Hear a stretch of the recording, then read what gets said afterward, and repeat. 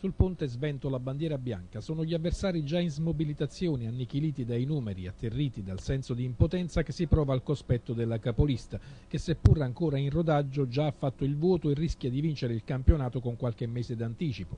Insomma, mentre a Salerno ci si gode il primato e l'imbattibilità e al contempo ci si prepara a rafforzare ulteriormente la squadra, altrove si sbaracca.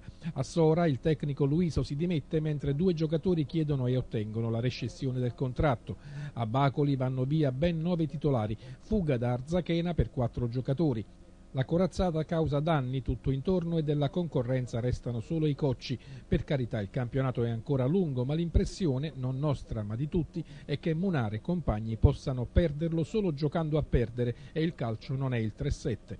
Alle viste c'è la Torres, altra nobile decaduta, oltre che squadra piuttosto tignosa soprattutto sul proprio campo.